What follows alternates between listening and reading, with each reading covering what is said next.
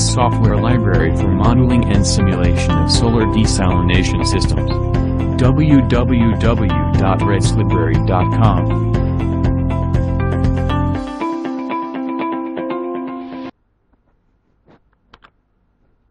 Hi everybody, uh, first Muhammad Sharaf with you. Uh, let's today uh, talk about uh, how to run uh, concentrated solar gas engines. Uh, briefly, what is the main concept, what is available configurations and applications, how to run uh, our model uh, via REDS library.com. Okay. First of all, uh, simply as the concept of uh, um, uh, solar concentrated solar gas engines, we know it's uh, the famous one is Stirling engine. It's a, just a solar powered by Stirling engine concept. Um, for it's considered a heat engine powered by uh, a temperature gradient generated by uh, uh, the sun uh, uh, um, by a focus technique uh, on a focal point. A parabolic dish-shaped reflector is normally used to concentrate sunlight to a receiver located at the focal point of the dish. Uh, uh, this absorbs energy reflected by the concentrators, enabling fluid, maybe air, helium, nitrogen, uh, in the receiver container to be heated to approximately uh, 700 degrees. Uh, this is then used to generate electricity in a small engine, uh, for instance, Stirling engine or microturbine attached to, to uh, uh, the receiver uh, space. Um, for the configuration, we have for Stirling engine, we have alpha, beta, gamma configurations. Um, for Brayton engine, this is another configuration. There's some research about to replace Stirling engine with a small Brayton cycle engine. So in, in this model, we are going to uh, simulate uh, via Simulink uh, library a Stirling engine and a Brayton engine. Okay. This is uh, the normal structure of uh, concentrated, concentrated solar uh, gas engine. Uh, it's a, as you can see, it's a parabola dish, focal point. This is the receiver, and so on. Uh, as a main advantage of, of such configuration, it's standard application for small of grid systems. It can generate uh, for from uh, 25 up to 60 uh, kilowatt electricity. Very high conversion uh, efficiencies, uh, peak solar uh, to electrical conversion of about 30%, uh, modularity, uh, hybrid. This is uh, uh, the engine, Stirling engine uh, put inside. This is a receiver cavity. Uh, this is uh, sink. Uh, this is uh, cold cold space, and this is hot space. Okay, um, let's go and try to run uh, our model in order to uh, uh, discover the effect of different working gases. We're going to to uh, address uh, 12 working gases. This work uh, uh, is not done before. Which engine is most efficient? Which engine is most, most efficient? Is it Brayton engine or Stirling engine? What is the design aspects? Uh, the effect on areas, area of the dish, area of the receiver, focal point length, uh, specific volume, mass flow rates, and so on. Performance parameters such, such as uh, compression and pressure ratios, if thermal efficiencies, and so on. Okay. Our model, after downloading your model, you have to specify, uh, go to the, your destination folder, okay, and try to run your model from it. Okay. Okay, this is our model. uh, this is for two engines. Two possible engines are addressed in this uh, model, Stirling and Brayton engines. Okay, let's see. This is a, a brief description about the process and so on. From the beginning, let's select our data, specify or assign our data. Okay, for design, we have to choose between Stirling and Brayton. Suppose I'm going to select Brayton engine. Uh, yes, this is um, these are the uh, the gases. We have monatomic category. Monatomic category: helium, argon, neon, krypton, xenon, and so on. Uh, for uh, uh, diatomic, we have air, hydrogen, nitrogen. For polyatomic gases, we have uh, carbon dioxide, ammonia, methane, uh, ethylene. Okay, let's see. Uh, let's see uh, carbon dioxide. Okay. Suppose we are going to uh, to generate one megawatt. Okay, mm, as a whole plant. Okay, a REM engine, rim angle, uh, mm, maybe for the dish. I think it's uh, 37 is, is fine. Top cycle temperature. I'm you can you can uh, specify top cycle temperature as a matrix. I mean, we can we specify as a matrix or specify yo- uh, points, but I'm going here to specify one one point. Suppose it's 750. As this is string temperature is ambient, I will consider it as 25 as normal. Uh, uh, this is if you are going to to see the tutorial or something like that. Okay. Operating conditions. Uh, operating operation operating hours it's 10 solar radiation from the location you can specify the solar radiation effect uh, I will consider it 1000 watt per meter square this is ambient temperature okay and this is atmospheric uh, environmental conditions okay you can specify easily uh, for Stirling engine Suppose we are uh, sure for the power you can also uh, uh, assign matrix that I mean, you can do it like this: 25, uh, 30, 35, 40, 45. This is step. You can assign it matrix. Okay, but I'm going to assign uh, a 25 kilowatt. You can assign a Stirling piston diameter, uh, number of cylinder, uh, running speed. Okay, this for Brayton engine. Okay, uh, for Brayton engine, I need 25 because we are going from uh, to working on Brayton engine. It's 25. Okay, performance, uh, generator efficiency, it's normal 95. Receiver efficiency, I think it's uh, about uh, 80% because it's 75 uh, 75 degrees Celsius I think receiver efficiency little bit uh, lower than 90s and dish mirror efficiency I'm going to to select aluminium okay uh, aluminium uh, yes. Uh, I think this is absorptivity it's okay 94 uh, cost analysis I will keep it. Okay if- sure you can change uh, based on your uh, design aspects okay. Let's run our model okay uh, choosing Brayton cycle okay. Let's see. Okay. Let's collect our result. So for Brayton Brayton engine uh, concentrated solar dish with uh, uh, Brayton engine. Okay.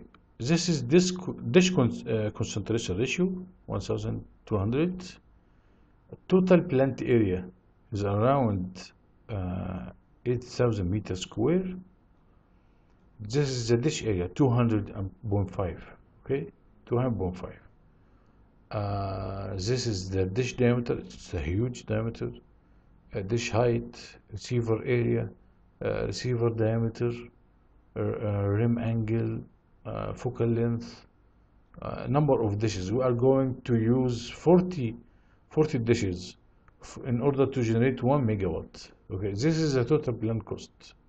This is total plant cost. Uh, for the engine uh, itself we, we have compression ratio 1.8 this is for CO2 okay?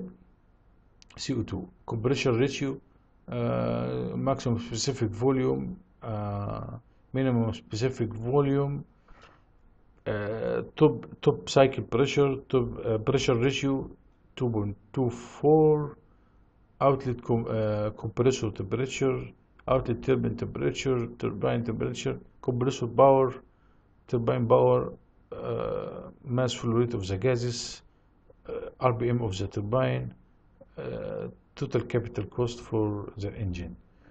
Okay suppose we are going to specify another working fluid. Let it be uh, um, from helium. Yes let's try helium and watch compression and pressure ratios okay? Yes it changed it. yes 1.3 and pressure ratio is 1.5 okay? Let's try another one.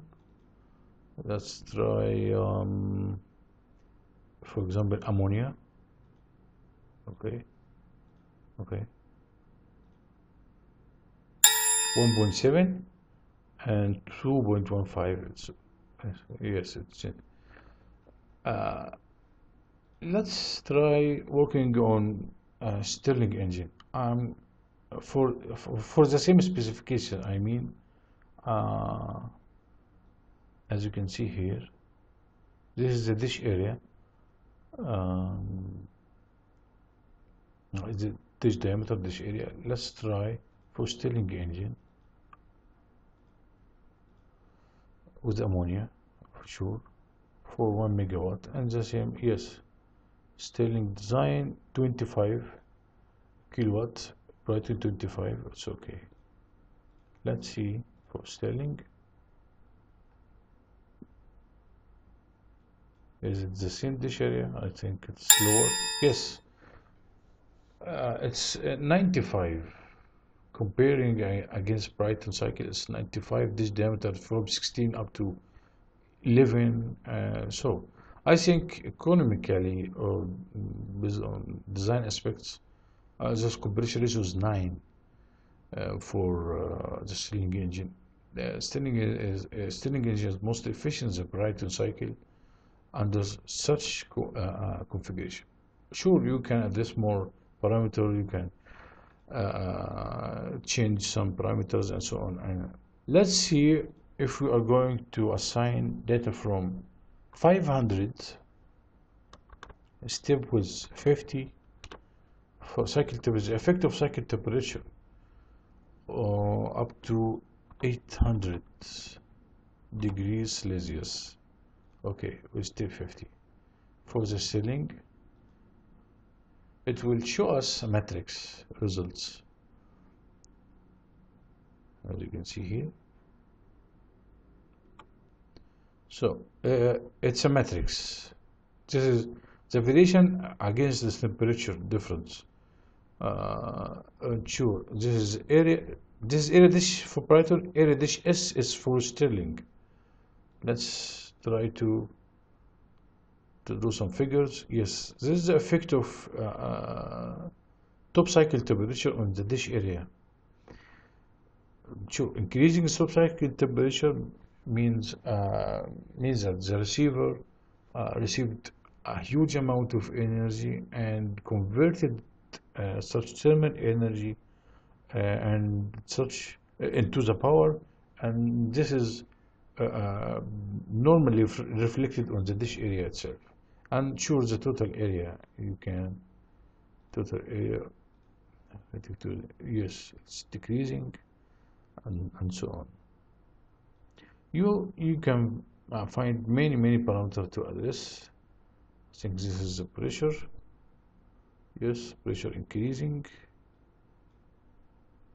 Uh, this is the stroke.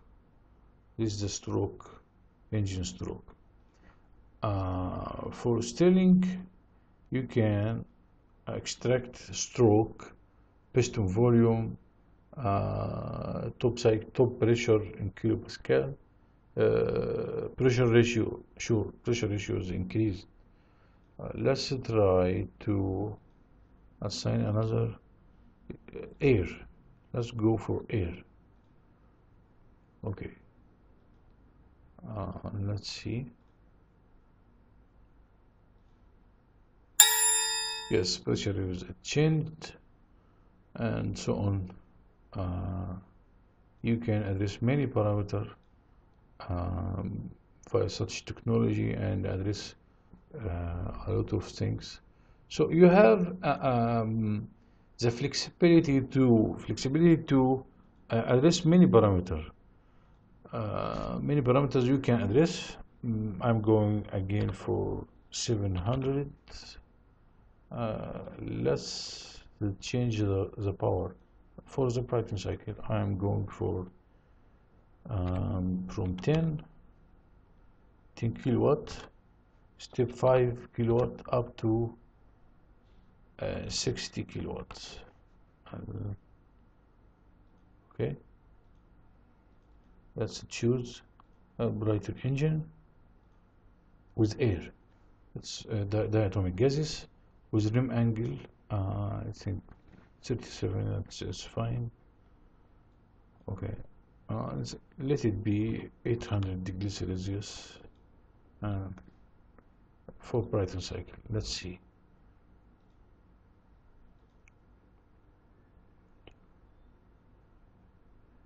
Yes mm, as you can see here we have uh, focal length uh, Brayton efficiency total plan cost uh, compression ratio uh, and so on.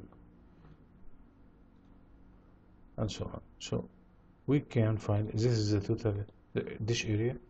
Yes it's increasing because uh, we increased the power from 10 from 10 up to uh, uh, 60 or 60 okay let's draw the area with uh, uh, the power. Mm. as you can see here this is the power of uh, Brayton engine. Yes this one with uh, this area. Let's see. Yes this from 10 kilowatts up to 60 kilowatts. And this is this variation. Um, I mean if you are going to design your dish at 10 kilowatts you have to consider this area of uh, your dish and so on.